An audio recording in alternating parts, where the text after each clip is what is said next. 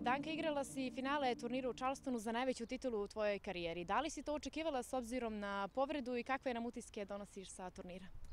Pa iskreno to kao što si pomenula, sam imala povredu, nisam očekivala da će se desiti finale, ali nekako tamo kada sam došla volim prvo to mjesto i iz meča u meč sam se osjećala sve bolje i eto, od tuda i dobar rezultat.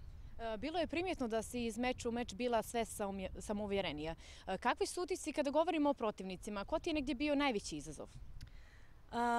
Definitivno e, najteži meč mi je možda bio meč četvrtfinala protiv Julije Putinceve, ali nekako najveća pobjeda na tom turniru mi je bila protiv Petra Kvitove, jer dva puta sam već gubila protiv nje, od nje i bilo su veoma teški mečevi, tako da mi je to, imala sam veliku želju da eto, joj dam taj revanš da je pobjedim.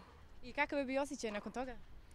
Pa, fenomenalno. Prvo, nisam očekivala da će tako, ajde da kažem, donekle lako da bude. Mislim, bio je rezultat 6-4-6-1, očekivala sam opet tešku borbu, ali eto, kao što sam rekla, nekako volim da igram iskreno protiv nje jer uh, igra fenomenalan tenis i čisto onako, tako da je stvarno bilo uživanje.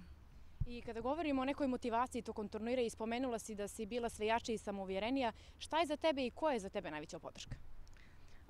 svakako porodica, tim koji je tu uz mene, ali eto moram i da pomenem u Charlestonu da sam imala veliku podršku od svih navijača iz Crne Gore, što mi je dodatno dalo snagu i motivaciju, jer nisam to očekivala. Prvi put mi se desilo da osjetim toliko pozitivnu energiju, čak i tako daleko u Americi i stvarno je osjećaj bio prelijep.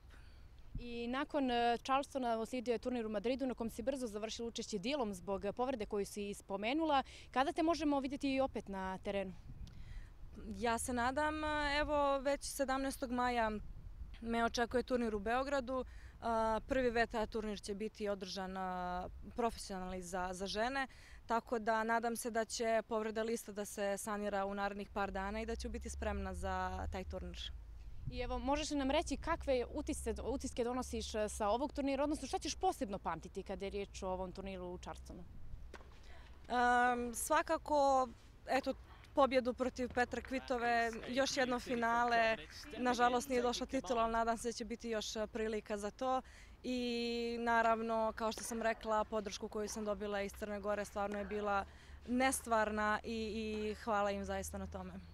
I ovaj turnir osvajale su legende poput Navratilove, e, Serene Williams i koliko je za tebe značajno, ali i za dalji razvoj tvoje karijere što si bila dio ovako značajnog takmičenja i što si uopšte došla do finala?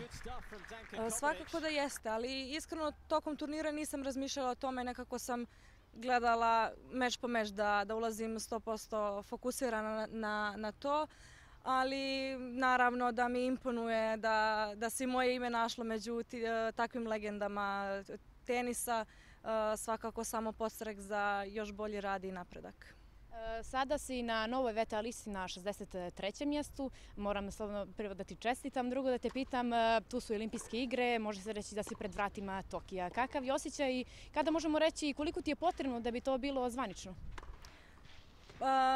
Donekle to je to, ali zvanična lista za tenisere izlazi nakon Roland Garrosa, što je čini mi se 7. jun tako da e, tada će se sve sigurno znati, ali eto, ajde, malo da otkrijem, mislim da sam ja ovaj, za normu sigurna.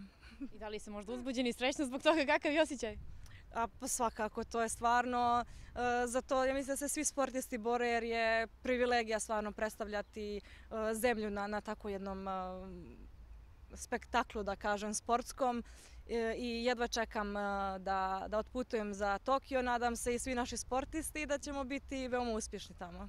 Cijela prethodna godina bila je dosta izazovna za sve nas, ali i za sportisti. Iako ste vi negdje navikli na usponi padova u karijeri, moram te pitati kako se ti vraćaš nakon tih loših trenutaka koji se sigurno i moraju desiti? Pa dešavaju se svakako i meni su se dešavali u karijeri. Imala sam jedan period koji je malo duže trajalo, ajde nešto više od godinu dana, da se nisam osjećala dobro na terenu, da nisam imala dobre rezultate, ali jednostavno profesionalni sportisti naviknu na to i s time se od malih nogu ovaj, nosimo. Eh, evo, na primjer, na samom početku ove sezone sam imala jedan takav eh, loš rezultat gdje sam na Australijan Openu izgubila nisam ni jedan gem, to jest uzela protiv eh, Ash Barty. Ali svakako, e, iskreno mene da je neko pitao 10 minuta nakon tog meča Danka izađi opet i opet odigraj taj meč, ja bih opet izašla jer e, iako sam ja odigrala loše i rezultat nije bio dobar, e, osjećaj je stvarno nevjerovatan igrati protiv prve na svijetu i na takvom stadionu. Tako da je to nešto što mi zaboravljamo veoma brzo, barem u mom slučaju i gledam da se fokusiram na naredne rezultate. I kada govorimo o narednim nekim planovima i da li si spremna za nove pobjede, jer mi jesmo sigurno? E, svakako da, da jesam. Mislim da je sada dobar moment jer se uh, osjećam dobro na terenu i u, u svakom smislu igrački, mentalno i, i fizički, tako da uh, trebalo bi da dođu i dobre rezultati. Šta bi poručila mladim ljudima koji žele da se bave ovim sportom, pogotovo u ovim izazovnim vremenima?